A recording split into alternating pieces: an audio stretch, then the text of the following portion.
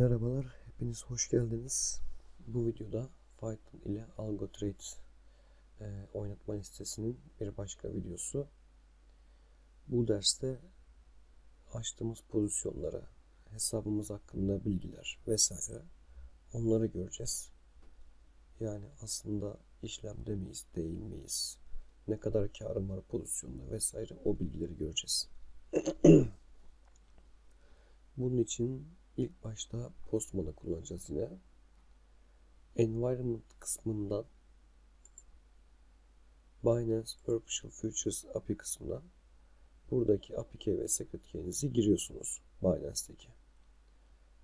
Daha sonra yine Collections'a girip buradan sağ üst kısımdan hangi environment'a bağlanmanız gerektiğinizi seçiyorsunuz. Ben Binance Perpetual Futures API'ye bağlanıyorum.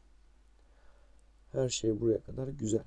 Artık bütün isteklerimi vesaire Postman üzerinden yapacağım ve e, ondan sonra Python'da yazacağım.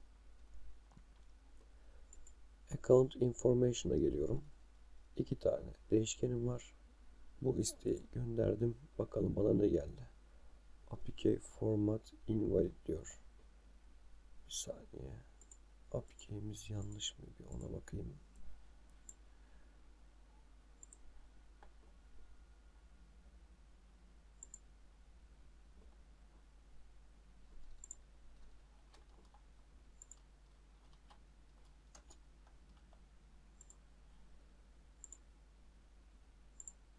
Bakıyorum. Evet API yanlış diyor. Nerede hata yapıyoruz acaba?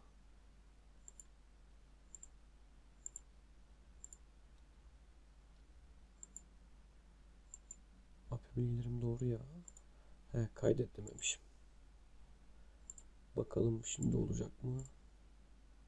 Tamam. Kaydet dememişim. Kaydet demeyi unutmayın. Şimdi account information'a girdim ve isteği gönderdim. Bana gelen veriye bakıyorum. Burada aslında bütün coinlerle ilgili yapılan işlemler gözüküyor. Get income history dediğimde benim işlemlerim gözüküyor normal şartlarda. Daha önce ne yapmışım? İşte PNL'lerim kaç vesaire bu işlemler gözüküyor. Peki position information'da açık olan pozisyonum diyor. Ama benim şu an açık olan bir pozisyonum olmadığı için komple bana bütün e, coinlerin verilerini gönderiyor. Şimdi ilk başta Binance'e girelim. Bir tane pozisyon açalım. Hatta pozisyonu da şöyle yapalım. Kaldırıcımızı 3 yapıp şeyden açalım. Nedir onun ismi? Bot ile açalım. Şu an herhangi bir açık emrim yok. Çalıştıra basıyorum.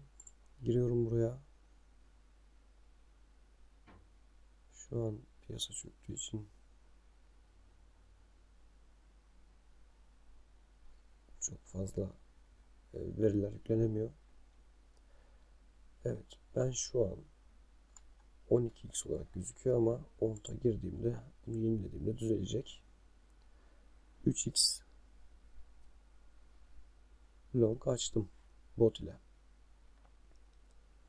Postman'a geliyorum. Get income history kısmına gelip buraya ont USDT diyorum. Sembol etiketini açıp. Ont ile ilgili benim şu an verilerim getiriyor. Şu anki işte PNL'in 1.8 cent vesaire gibi bilgiler veriyor. Şu an 9 cent içerideyiz. Bakalım onu veriyor mu? Gönderelim.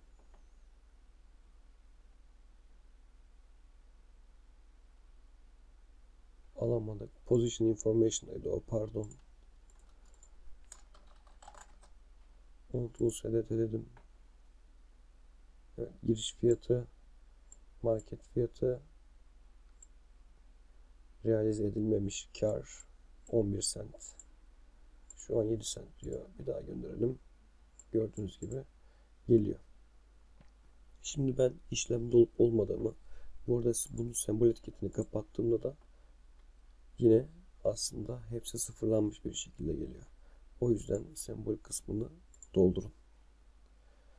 Ee, boğazım ağrıyor. O yüzden sessiz konuşuyorum. Şimdi bu isteği gelin şeyde yapalım. Nedir onun ismi? Python'da yapalım.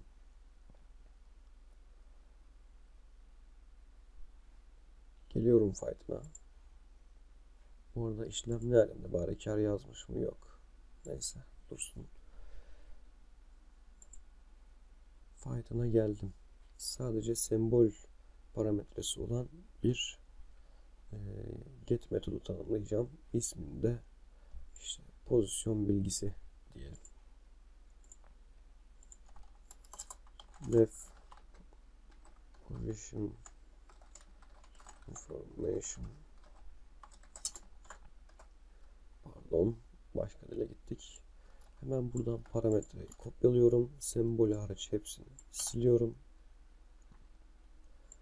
Diğer değişkenlerden kopyalayıp Enter'a basıyorum. İstek türümüne get yapıyorum. Artık bana burada bir veri kümesi geliyor. Şimdi ben buna kadar print emir gönderdik artık emir bir daha göndermesin. Hatta bunları direkt yorum satır yapalım. Print diyelim. Position information dersem benim ont coin'imdeki pardon bu arada linki değiştirmedik. FAPI v2 position risk ont coin'imdeki pozisyon bilgilerini bana göndermesi lazım. Çalıştırıyorum. Timestamp parametresini göndermedin diyor. Doğru.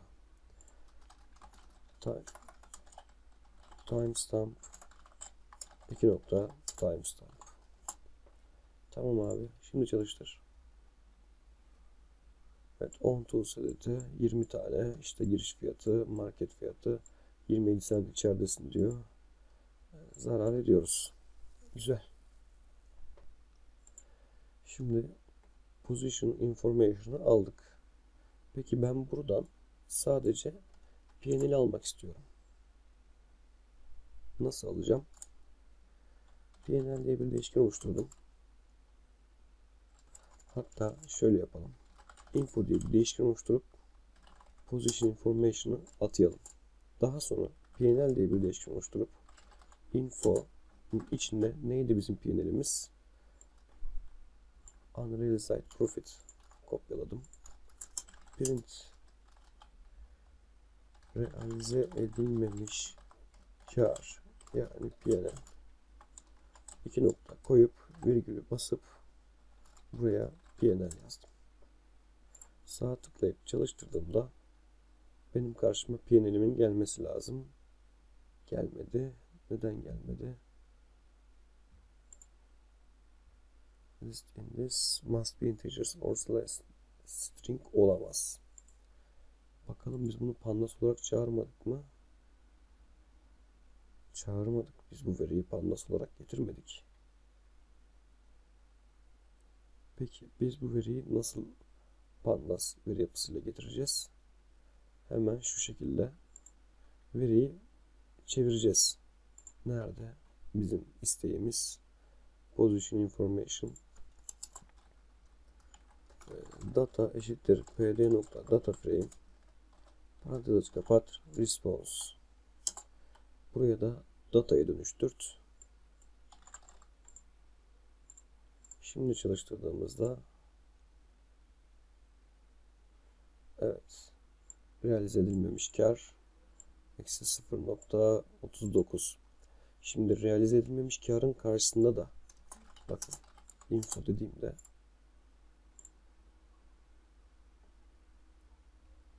görüyorsunuz bize artık bir tablo olarak gönderdi.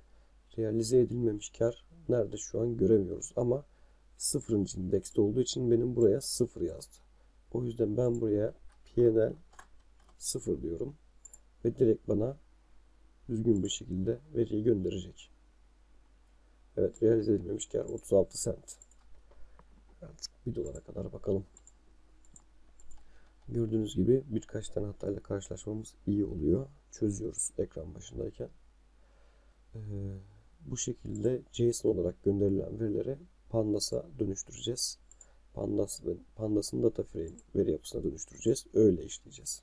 Daha kolay oluyor. Bakalım başka ne var? Başka ne yapabiliriz? Emir göndermeyi vesaire yaptık. İşte kaldıracını çağıralım. Leverage demeyelim. Zaten öyle bir sınıf var. Kaldıraç eşittir. Ne olarak geliyor bize? Leverage olarak geliyor. Hatta şey yapalım ya. Likidasyon. Şöyle bir değişken tanımlayalım. Eşittir. Info'yu atamıştık ya zaten. Info'nun içinde şu değişkene ulaş ve bu değişken sıfırıncı indeksindeki yani ilk verisini bana getir. Print likidasyon eşittir deyip bunu çağırdığımızda likidasyon fiyatımız da 70 centmiş. Şu an ne kadar? 1 dolar 03 cent ve likidasyon fiyatı da 70 cent'e düşerse likidasyon uğrayacaksın diyor. Buradan istediğiniz veriyi çağırabiliyorsunuz. Ee, account information da aynı şekilde kullanabilirsiniz. Get income history geçmiş e, şeyler. Tamam şimdi anladım. Get income history geçmiş yaptığımız trade'lerin bilgisini bana gönderiyor. Sembolü boş geçersem bütün yaptığımız trade'lerin işte ne kadar kar etmişim, ne kadar zarar etmişim bana getiriyor. Bu trade'in mesela bakın CTK'ya işlem açmışım. 3 cent komisyon vermişim. Komisyon. 35 cent fiye vermişim. Yine 3 cent komisyona vermişim. Buradaki türünden de neyin ne olduğunu anlamışsınızdır. Mesela Hot'tan 2.24 dolar kar etmişim. 3 cent komisyon vermişim. BTC'ye de 4 cent komisyon vermişim. Bu şekilde geçmiş işlemleri görebilirsiniz. Bu, bunun için ayrı bir şey yapmama gerek var mı? Yok. Umarım anlaşılmıştır. Postman'ı kullanarak e, her şeyi yapabilirsiniz. Postman'ı deneyip buraya yazabilirsiniz. Anlaşılmayan bir şey varsa yorumlarda belirtirsiniz. Güzel olur. E, beni Twitter'dan, YouTube'dan ve TradingView'den takip edebilirsiniz. TradingView hesabımda Only Fibonacci, e, Matrix IQ, TradingView ve Python dersleri veriyorum. Aynı zamanda daha doğrusu vermeye çalışıyorum kendimce. Aynı zamanda teknik analiz videoları da çekmeye çalışıyorum. Ee, diğer videolarda görüşmek üzere.